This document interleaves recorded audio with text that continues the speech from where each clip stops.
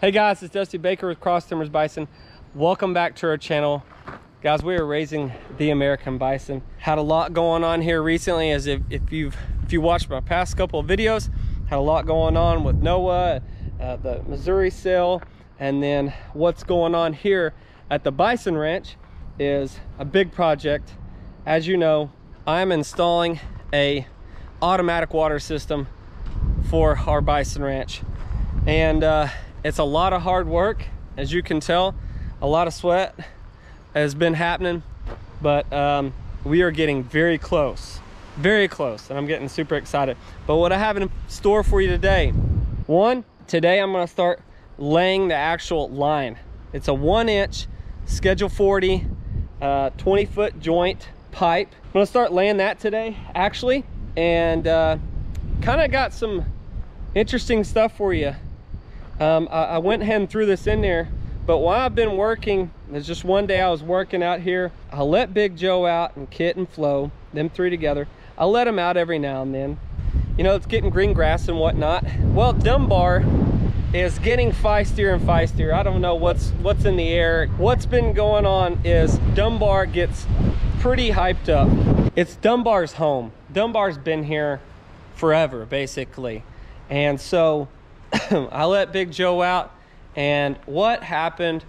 I was, I mean, I was actually pretty nervous at this point, but um, their moods are starting to change a little bit, and uh, I don't know if it's because of calving season is around the corner or you know breeding season is two or three months away. I don't know what's going on. It's the spring air green grass. I'm not sure. Whenever i let big joe out there's just something that goes on between them two. And I think Dunbar is just trying to stand his ground, say, this is my house. I've been here longer. I don't know. But boys will be boys. And uh, these guys, they're started to tear up our fence a little bit. Nothing too damaging. But uh, I had to kind of think about if I want to keep doing that a little bit. Um, because uh, I'm gonna show you this. I was just out here working, but, um, and I like to let them out so I can actually see them, but they're able to touch nose to nose. And now that's, that's my number one thing I was not gonna let them do. But, you know, I just, I just like to see them out there roaming around and, and whatnot and eating the green grass. Yeah, not a, probably not the best idea, but so anyways, they were able to touch nose to nose, and the boys will be boys. They get hyped up and they have to show their dominance. Well, I couldn't get Big Joe in. Um, I took the ATV out there and I tried to get Big Joe in, and he was not listening. Of course, he's 2,000 pounds probably. Why wouldn't he listen to me, right? Cubes? No, cubes weren't working at all. So, but I can get cubes for Dunbar. After they settled down, I scratched trying to get Big Joe up. I got Dunbar.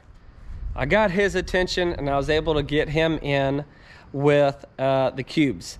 And so I got Dunbar put away where they couldn't touch nose to nose. There's a where there's an alley basically between them now. It's like 14 foot alley, maybe even more. They couldn't touch nose to nose. And eventually Big Joe calms down and then I was able to put Big Joe and Kit and Flo up um, with some feed. and uh, Dunbar finally come down. But that's just the way these guys are. They just, they're not used to each other. And Big Joe is about to be seven years old. Dunbar is about to be four. There's a difference there. Dunbar's been here. Big Joe is new. So, you know, these are Dunbar's ladies and he's got to protect them. So that's what we're dealing with. But um, I'm gonna have to be much more careful and uh, really make sure Dunbar is further away. So anyways, take a look at this and uh, hope you enjoy it. Okay, so what I did is I trenched these in sections and the reason I did that instead of just doing the whole thing I had to do that in sections because the bison are out here my big herd is out here and they will basically anytime they see this they're gonna check it out they're gonna roll in it and knock all the dirt back in so anyway, so that means uh, because I have this trench dug, the bison can still get in here, but right now they're down in the bottom pasture. So since they're down in the bottom pasture and I've trenched this, that means we get to start laying the lines. So that's what I'm gonna start doing is we're gonna start laying our one inch PVC down here in this section and then I'm going to finish trenching later um, so that the bison, which they already have, I was trenching in some areas and they already knocked some dirt in jack wagons. So, but uh, lesson learned, don't get a walk behind trencher. I didn't think it'd be that bad, but it's a lot tougher than I thought going through these rocks.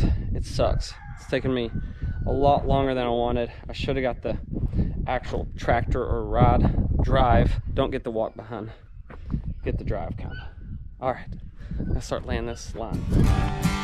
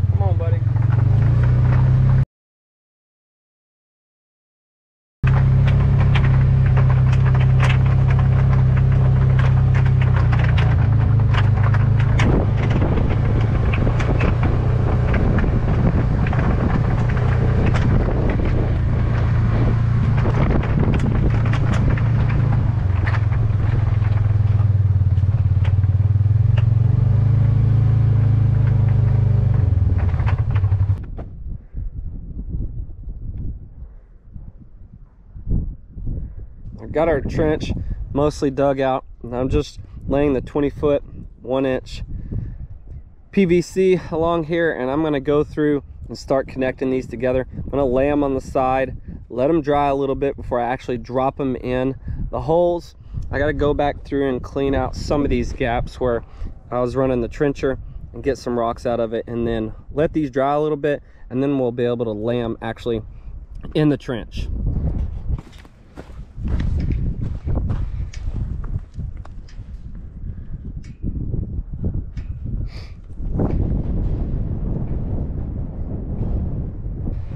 Think?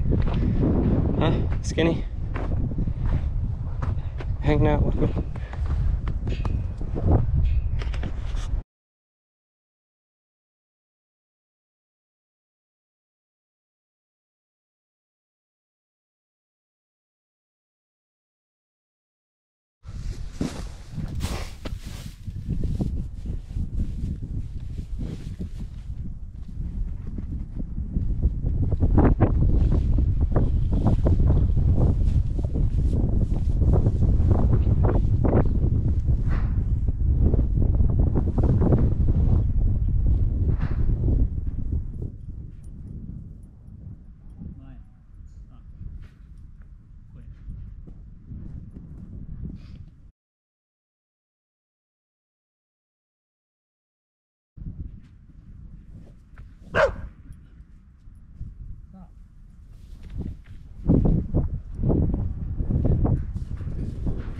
Maya, no.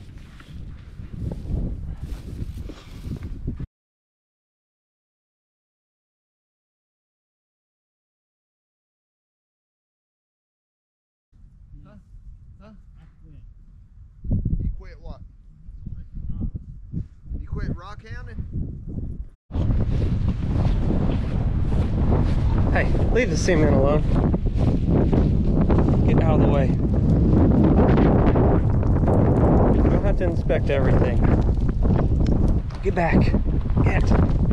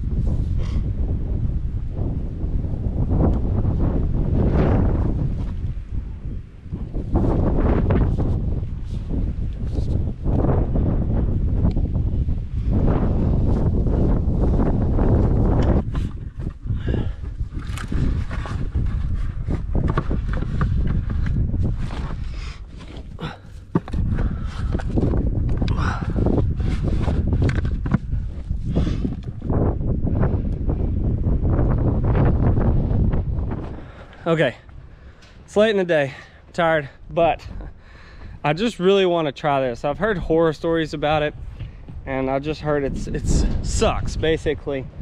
Um, but it's cutting these the rims or the not sure what you call it. Forgive me, but I'm gonna cut the rim out of it. I'm gonna cut this area out of it, and uh, I've watched people do it on videos before and stuff, and I'm gonna use my electric sawzall here and see how it goes.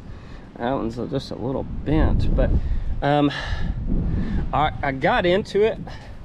I already started digging into it here once I got my blade in and I'm gonna see how it goes. I may need to switch out. I'm using the bi-metal blade on this sawzall, not a very long one, but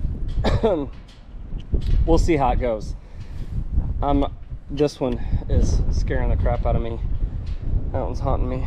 That looks like, that is a beast of a tire right there.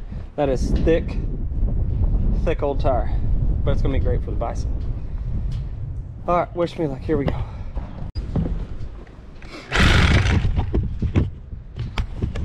Hold on there.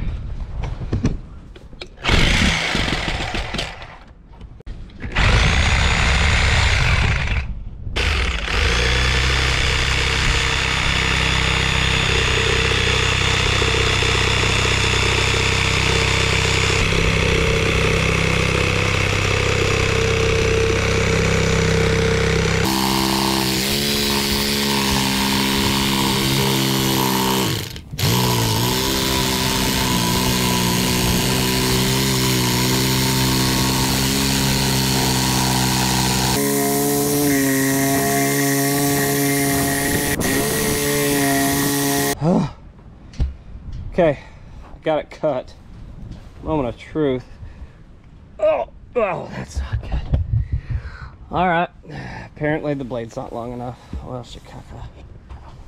I got a longer blade.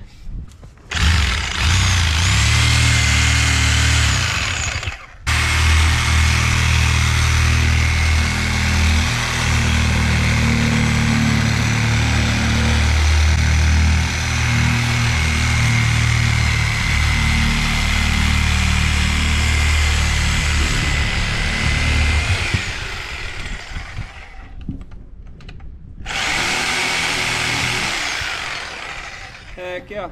Well, to be honest with you, that wasn't that bad. That tire is not near as thick as what this beast of a tire is. Up north, those guys, they use a, a lot bigger ones. Up north, they, and I've got a buddy in South Dakota, Dakota Pure Bison, up in Mission, South Dakota, and those guys, they've got like a 10 foot tire. He asked me if I had one, because I was talking to him about doing this. I was like, dude, we don't have those tires. We don't have that big of tires down here. So, but this will work. Now, he's running a lot of bison, a lot more bison than me on a lot of acres. You know, we don't have, we can only go so far on bison on this specific property. Um, but we're starting to reach our, our max. We're getting close to it. So we don't have to have huge waters. We just have to have waters out there so we can start rotating. Whew. All right, another day. Thank you guys for watching. It has been a heck of a process. It's been a lot of work. Um, I just want to thank Kevin for his help. Um, he takes time out of his day after he gets home from work, helps me out. He helped me out on the weekends, and uh, I just appreciate that greatly. Appreciate. I want to thank my wife too for letting me work on this. It. I've been out here for five or six days straight trenching getting rock out of the the trench cleaning trenches uh, you know taking care of bison doing those normal things. And um, then actually laying our pvc everywhere and hooking up the connections. I've been doing this for about five or six days straight on and off helping watch brooks and doing cabin stuff. So it's been a lot of work but now i got two tires ready to go. I got this beast here. Ready. I'll get it at some point. Our fittings are set up and everything's ready. We just gotta pick the tires up, set them um, where they're gonna go, hook up the connections to it, do the last couple minute things, put my flow valve on, float, make sure the water's good, with the well, all that before we even set the tires. I'm gonna concrete the tires in and hopefully we'll have some water tanks after they dry a couple days. So, what a process, but I hope you guys are learning something. You know, I've, already made mistakes and I hope you can learn from them and keep you from making those mistakes. Stay tuned for a next video. I'm trying to put these in line for you and, and try to do part one, part two, part three, part four. I'm trying to do segments of this so you can kind of see the process of this whole thing. And, um, but hopefully maybe you may use this someday, whatever. But uh, anyways, thank you guys for watching. This is all part of raising the American bison, trying to do things right. Whatever the task is and however much effort you got to put into it, it's all worth it for these animals. And uh, thank you guys for being part of this story and this journey. This place has changed a bunch. And uh, I think once we get this done, this is kind of that last big final project and that I'll will definitely have some weight off my shoulders um, and it'll feel good to have this this going. So anyways thank you guys